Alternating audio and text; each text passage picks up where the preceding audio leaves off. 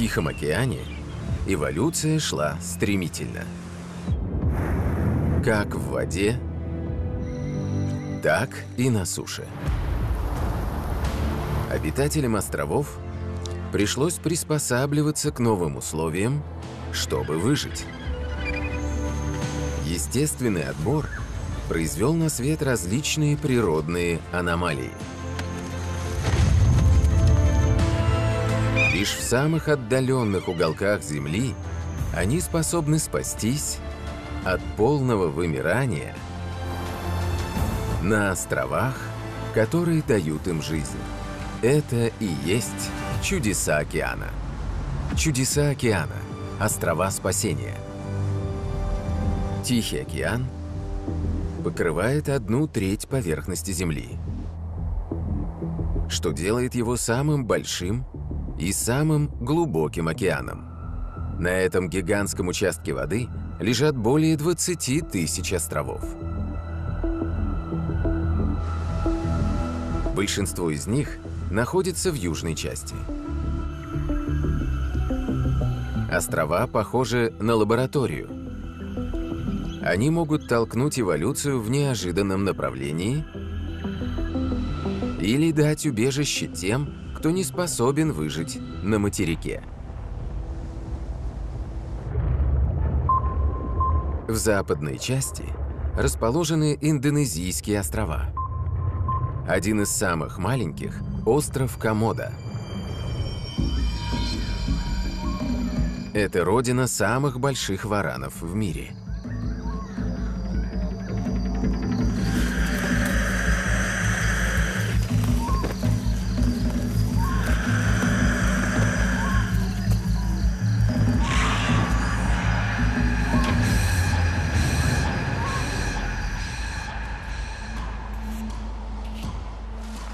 Отдельные представители комодских варанов могут достигать трех метров в длину. Их тяжелые и массивные тела покрыты толстой чешуей.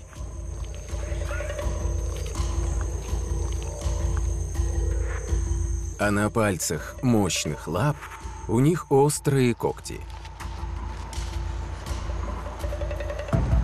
Во рту в несколько рядов, как у акулы, выстроились 60 острых пилообразных зубов.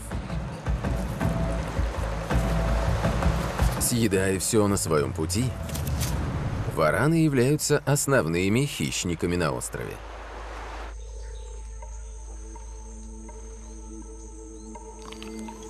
Они способны с легкостью найти добычу по запаху с помощью языка, как змеи. Со змеями их роднит еще и наличие в челюстях ядовитых желез.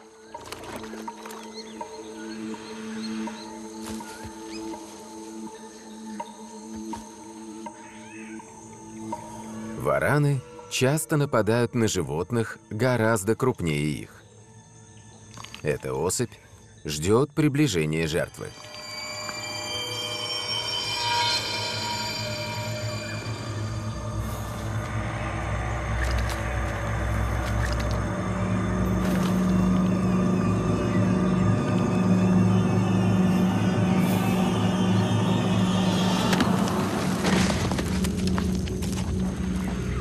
Вараны хватают жертву зубами и мощными мышцами тянут на себя,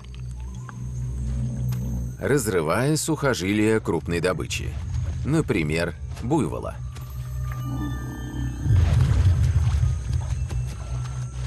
Раненое животное ищет спасение в воде.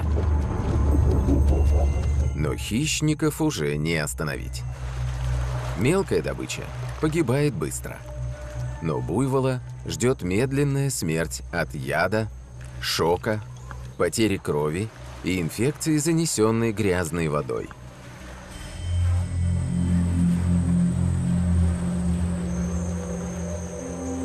Разрывая жертву на куски, вараны способны съесть количество мяса, равное 80% от собственной массы тела.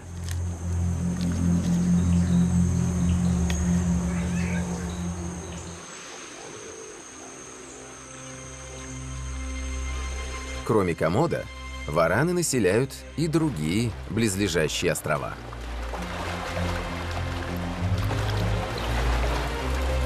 Будучи умелыми пловцами, они проплывают почти полкилометра в длину. Эти звери научились особому трюку, который позволяет им заселять новые территории. В обычных условиях они размножаются половым путем, но иногда самкам приходится прибегать к другому способу. В условиях отсутствия самца они откладывают неоплодотворенные яйца, из которых вылупляются здоровые детеныши. Этот процесс, называемый партеногенезом, довольно редко встречается среди представителей присмыкающихся.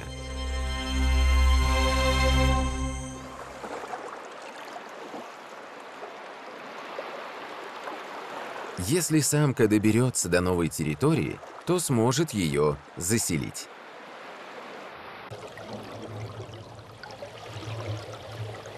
Но на этом история комодских варанов не заканчивается.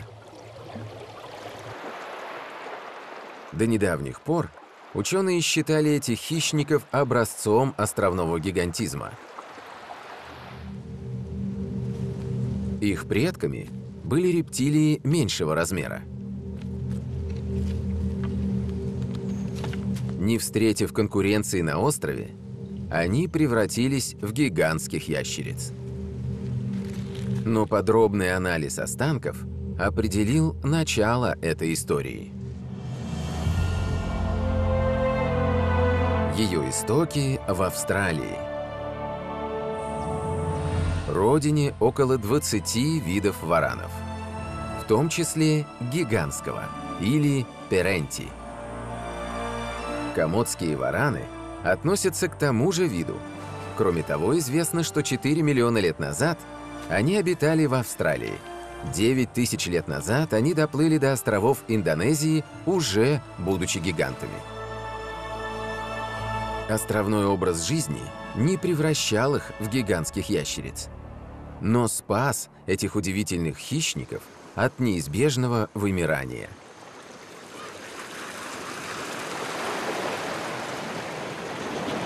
Но не все гиганты обладают таким размером. Одному виду мелких гигантов также удалось выжить в Тихом океане. В 570 километрах от Австралии расположился Лорд Хау – Остров вулканического происхождения.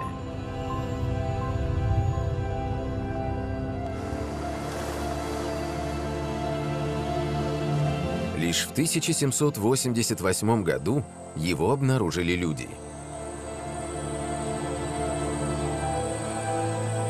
А змеи и грызуны не нашли его. В отсутствие хищников, те животные, которые сюда добрались, претерпели особые изменения. Один вид превратился в островного гиганта. Палочник острова Лордхау. Имея длину 15 сантиметров и вес взрослой мыши, он является одним из крупнейших насекомых планеты. Местные прозвали его древесным омаром – Но в 1918-м корабельные крысы напали на популяцию палочников. Считалось, что этот вид исчез.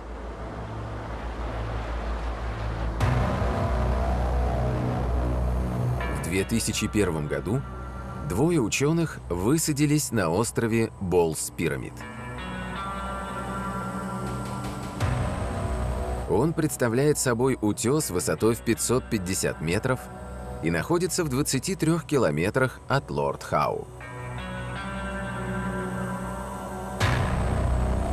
Это все, что осталось от древнего вулкана, который смыла вода.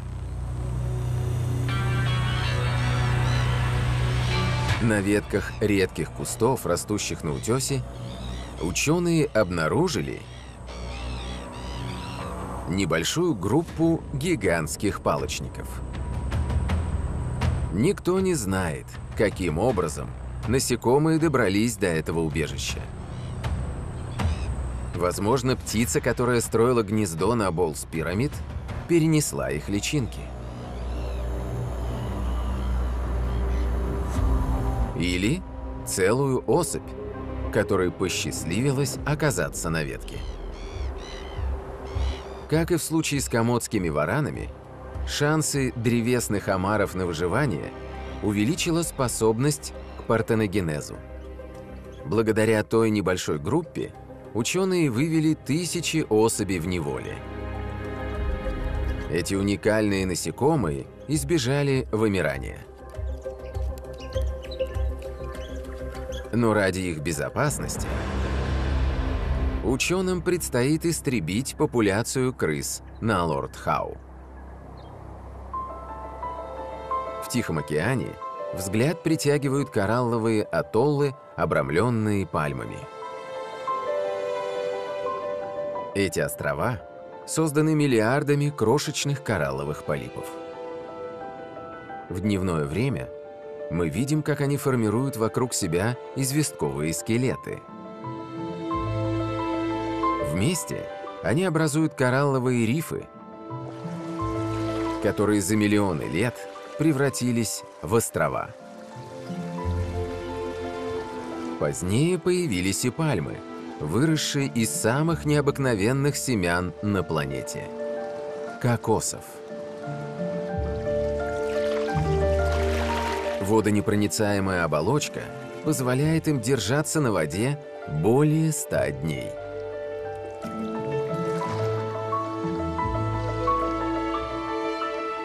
Когда кокос оказывается на берегу, зародыш питается мякотью, чтобы стать пальмой. Если ее не украдут.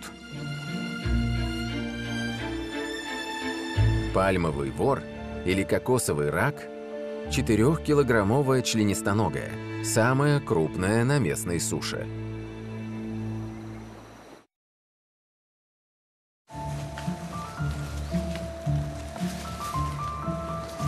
Пальмовый вор, населяющий все южные острова Тихого океана, самый крупный рак-отшельник в мире.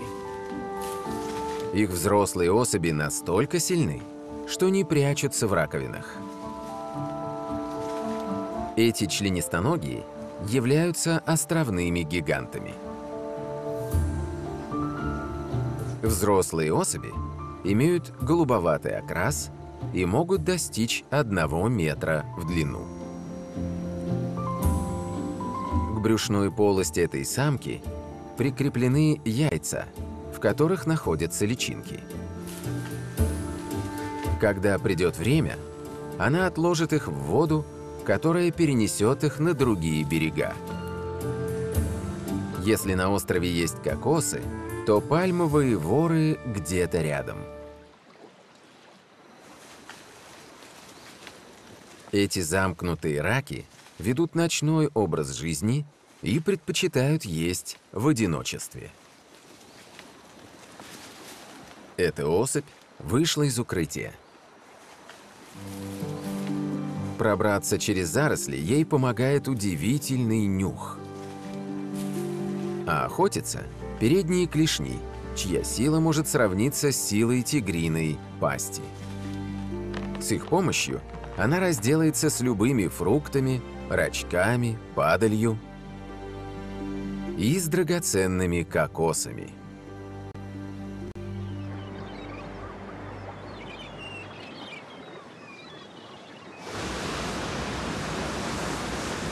В Тихом океане особое место занимает Галапагос.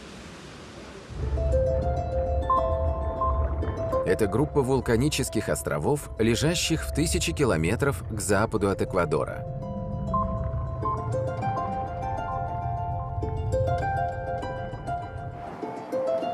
Некоторые молодые вулканы еще действуют. Поднявшись с дна океана, они превратились в безлесные скалы. течение окружающие острова полны пищи для голодных морских обитателей. Но лишь немногим видам сухопутных животных удалось отыскать эту территорию.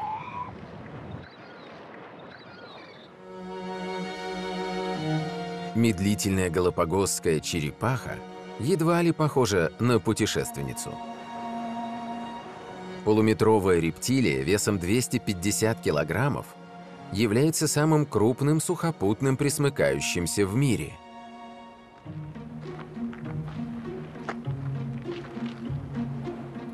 В юности чудаковатый Чарльз Дарвин любил кататься на широких спинах этих черепах. И не только он –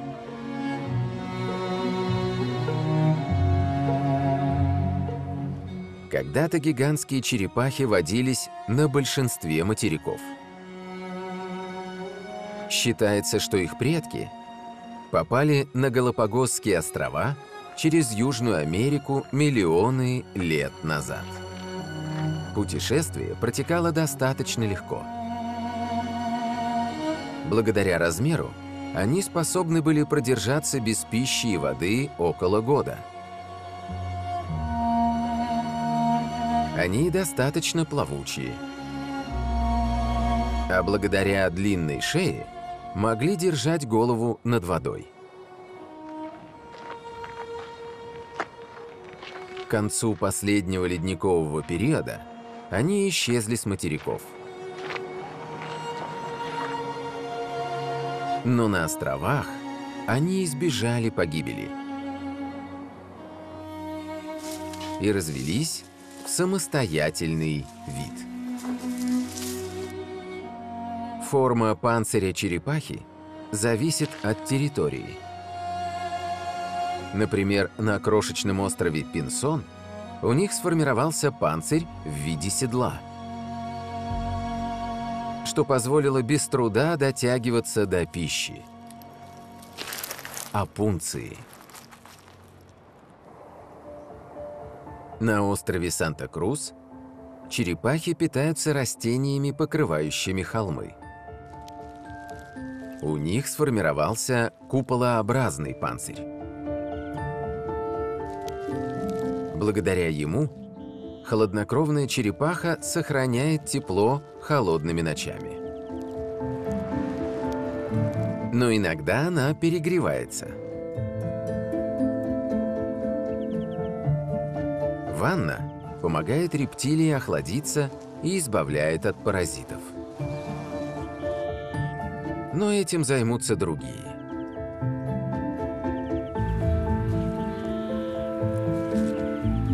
Вьюрки Дарвина.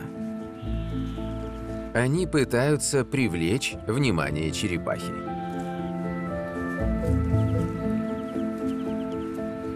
Она поднимает голову и вытягивается. Таким образом, птицам достается легкая добыча в виде клещей. А черепахе – долгожданное облегчение. На юге Тихого океана множество вулканических островов. В этом огненном кольце сосредоточены три четверти активных вулканов планеты и очаги большинства землетрясений. Жить там необычайно опасно. Эта колония Олуш может погибнуть в любой момент. Но риск приносит свои плоды.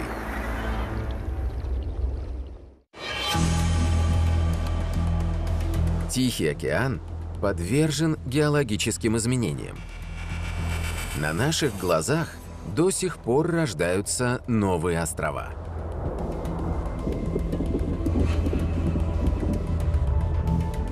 К северу от Новой Зеландии лежит молодой остров Уайт-Айленд с действующим вулканом. Ему лишь 150 тысяч лет – Извержения вулкана в 70-х оставили здесь кратеры.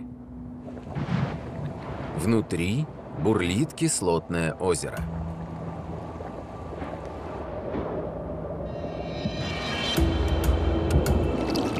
Живым существам здесь не место.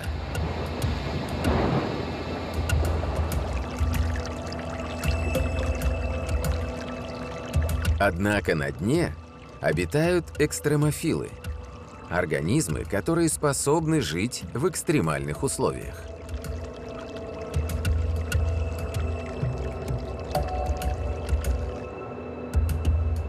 За пределами кратеров на месте леса, уничтоженного более 30 лет назад, появляются новые чахлые деревца.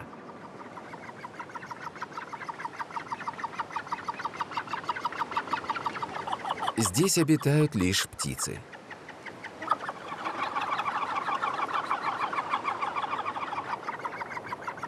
Недалеко от скал на краю острова колонию основали австралийские олуши –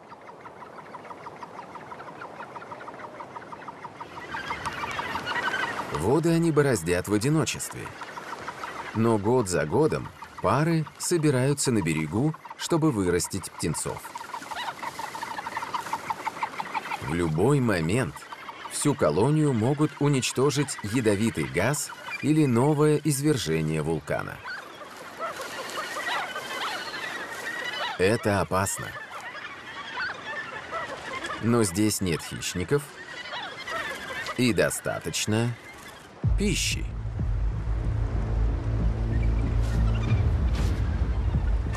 Олуши превосходно пикируют. Прижимают крылья к телу и падают в воду, словно стрелы, достигая скорости 145 км в час. При вхождении в воду хрусталики в их глазах меняют форму что позволяет им видеть рыбу на расстоянии 23 метров в глубину. С дна котлована, на краю которого находится Уайт-Айленд, плывут глубоководные рыбы. Именно поэтому олуши и размножаются в этом месте. И не только они.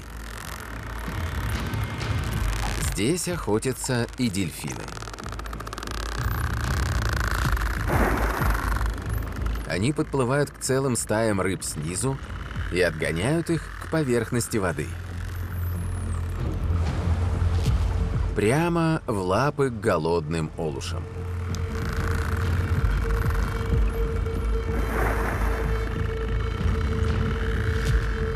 Новая Зеландия.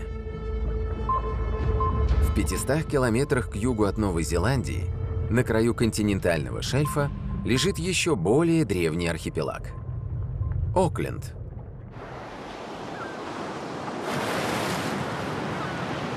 Южные гладкие киты бороздят субантарктическое глубоководье в поисках пищи. Но перед рождением детенышей самки уединяются в укромных бухтах Оклендских островов. И воспитывают их здесь до тех пор, пока они не смогут отправиться в открытые воды.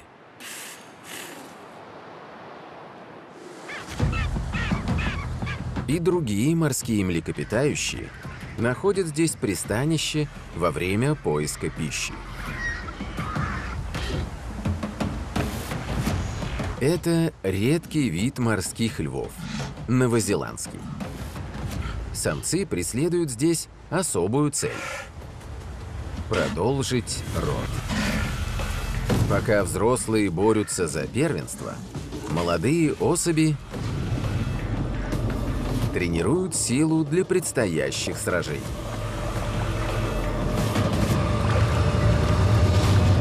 Когда на берег выходят самки, крупные самцы словно срываются с цепи.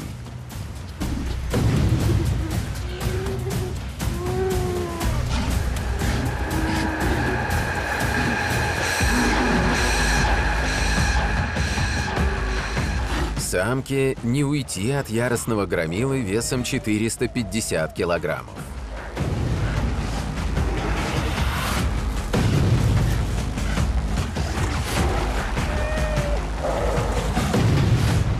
Выбрав гарем, он будет бороться за него, даже если погибнет самка.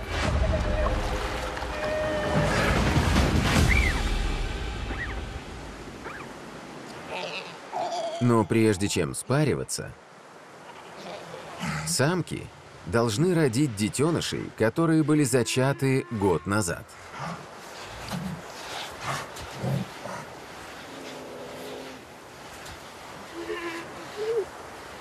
Течение года они кормят малышей и охотятся, чтобы пополнять запасы молока.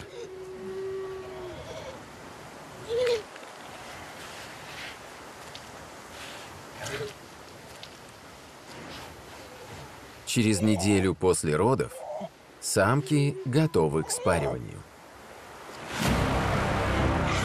А самцам придется защищать свой гарем от соперников. Во время брачного сезона крупные морские львы подвергаются испытанию на прочность. Нужно оплодотворить как можно больше самок.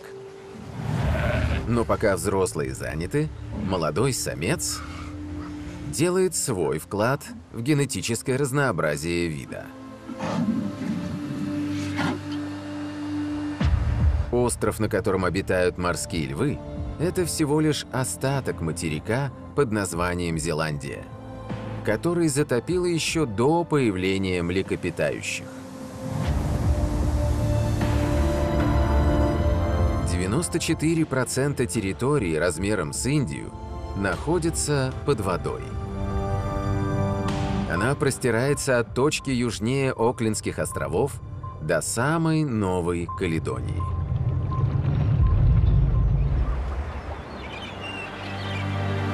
В Новой Каледонии находится крупнейшая лагуна.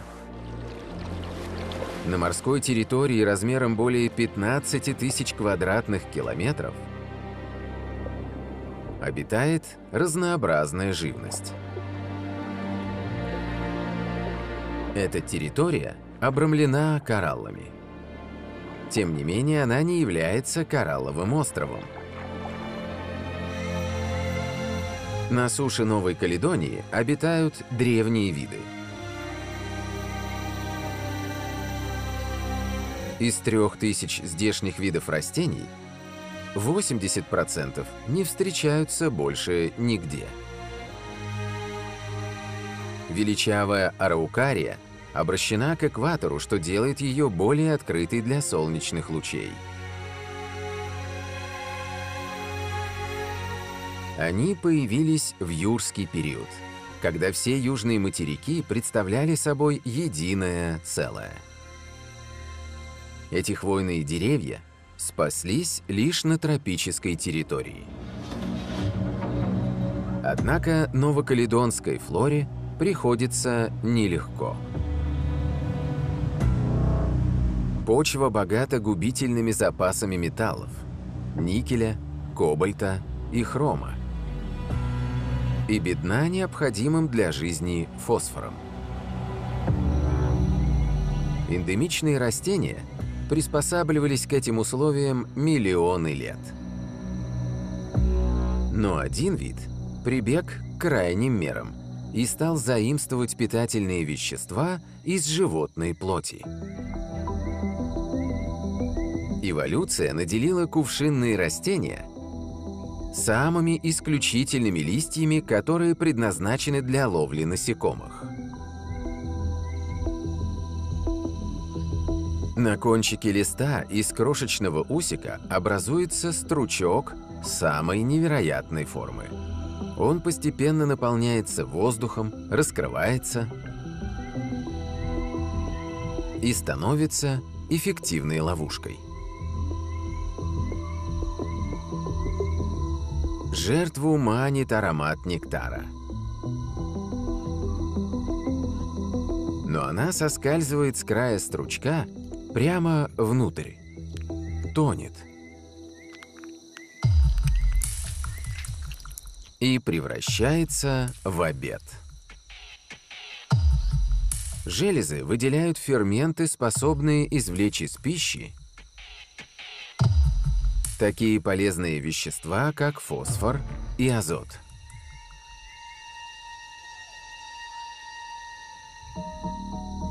В отличие от кувшинника, это растение не ждет, когда добыча угодит в ловушку. Это росянка. Ее листья покрыты тонкими волосками, на кончиках которых содержатся мешочки со слизью. Многие насекомые не могут устоять перед ней. Жертва приходит за пищей и застревает. Чем больше сопротивления, тем сильнее хватка хищника. Росянка не упустит добычу. Слизь блокирует наружные дыхательные отверстия насекомого. После 15 минут борьбы оно погибает. Особые железы на поверхности щупалец выделяют ферменты, которые способны разложить жертву изнутри. Отдав растению необходимые вещества, насекомое превращается в пустую оболочку.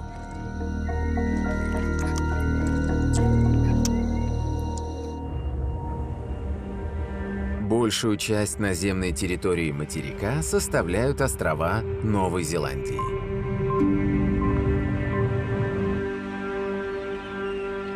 Здесь своих детенышей растят сородичи морских львов. Песку морские котики предпочитают скалистую местность. Пятимесячный детеныш все еще питается молоком. но уже ищет приключения и исследует территорию. Чтобы пополнить запасы молока, матери приходится чаще выходить на охоту. Без материнского надзора детеныши исследуют новые места и сталкиваются с тем, чего прежде никогда не видели –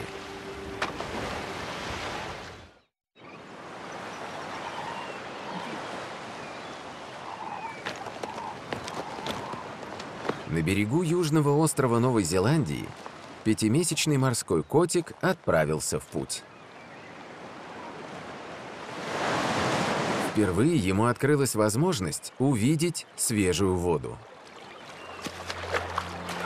Его сородичи возвращаются обратно домой. Но этот малыш пошел по запаху, исходящему от воды.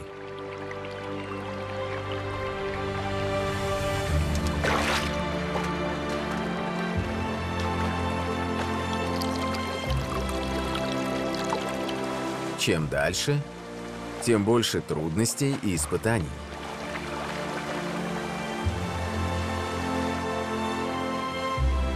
Но неожиданный результат поражает взор зверька.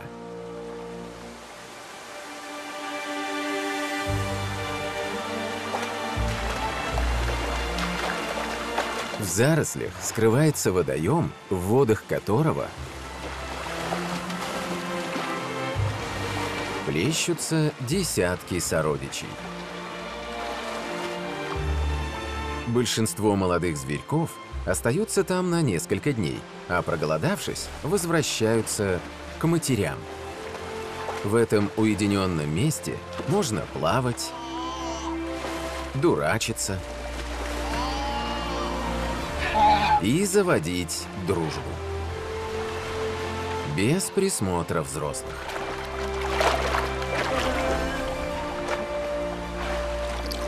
Именно в отдаленных от берега местах уникальная природа островов проявляется в полной мере.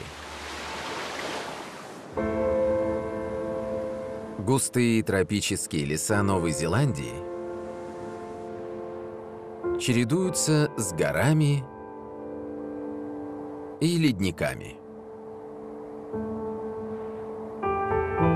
Отделившись от материка 85 миллионов лет назад, она стала местом появления уникальных видов.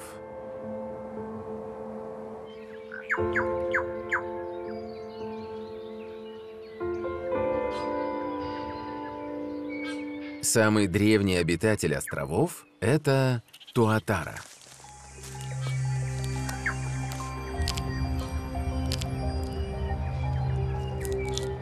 Имея поразительное сходство с ящерицей, эта рептилия обладает еще и чертами крокодила. 250 миллионов лет назад ее примитивный предок делил территорию планеты с динозаврами. Будучи последним представителем своего рода, она пытается выжить на отдаленных островах. Холоднокровная, и необычайно медленная. По невероятному стечению обстоятельств, крошечная туатара стала доминирующим хищником на суше.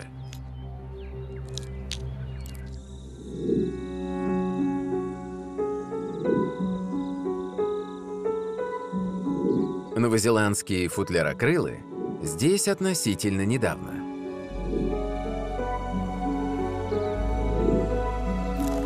Их предки прилетели сюда 20 миллионов лет назад. Вместе с другим, ныне вымершим видом мелких мышей, они были первыми млекопитающими, достигшими этих островов. Не встретив хищников, эти животные развили мышиный образ жизни –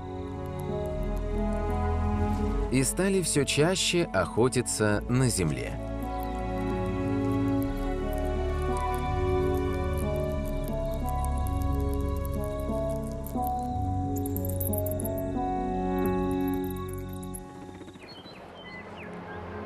Летучие мыши и туатары были единственными конкурентами.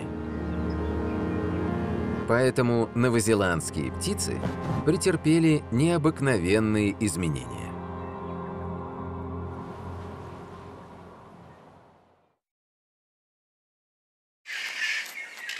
Нестор Кака относится к виду крупных попугаев и обитает в лесу. Во время обеда в тени он издает громкие звуки.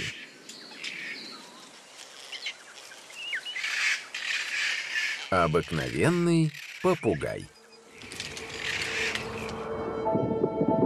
Но 15 миллионов лет назад в результате столкновения тектонических плит образовались Южные Альпы. В течение этого периода одному виду попугаев удалось приспособиться к горному образу жизни.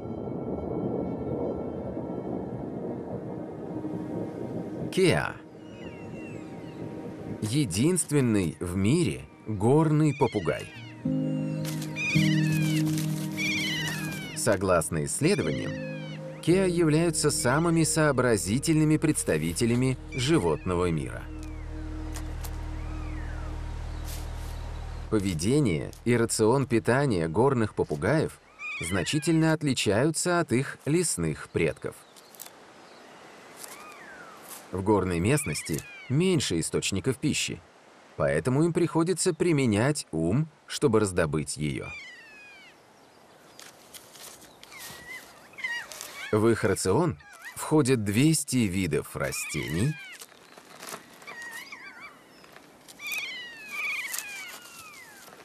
и животных.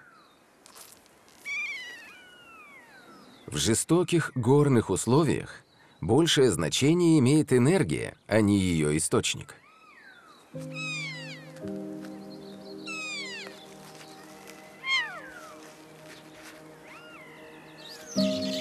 Две особи заигрывают друг с другом. Самец хватает самку за клюв, устанавливая брачный контакт. Юные особи наблюдают с интересом. Их глаза и клювы обрамляют желтые кольца, которые исчезнут с возрастом.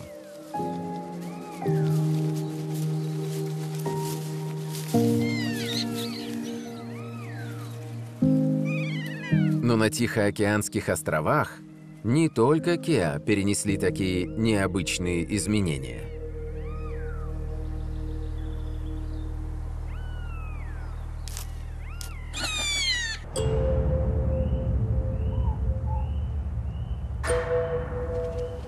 Ночной образ жизни ведут 3% птиц планеты,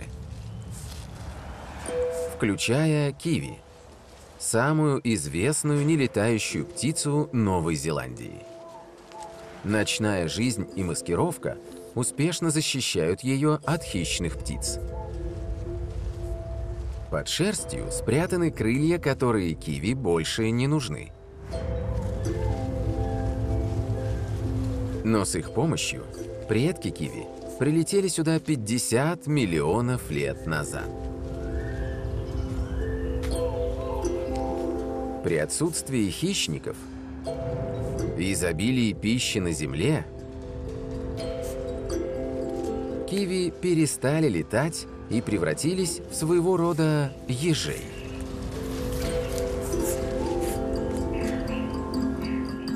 Это единственные птицы, имеющие ноздри. Даже в полной темноте они способны учуять запах добычи.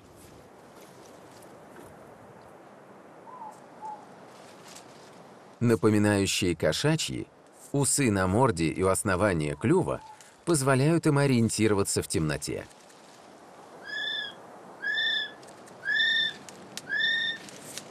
Последние исследования обнаружили нарушение зрения у трети всей популяции киви.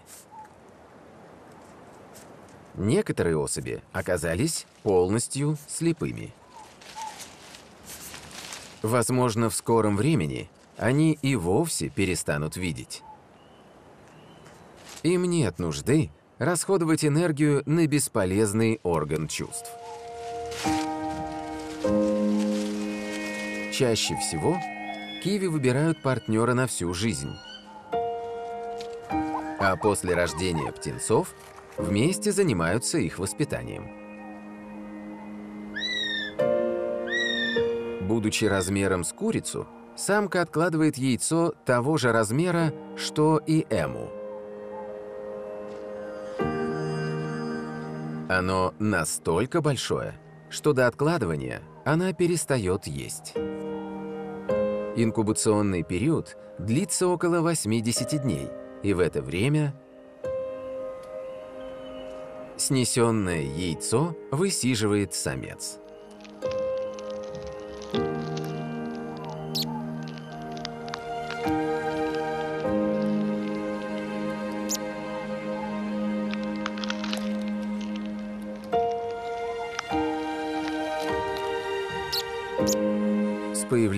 Птенца родительская забота с лихвой окупается.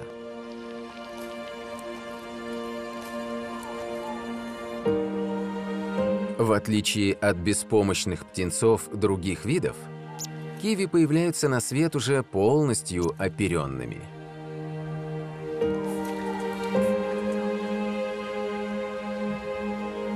Первое время умереть с голоду им не дают запасы белка – а затем они отправляются на поиски пищи самостоятельно.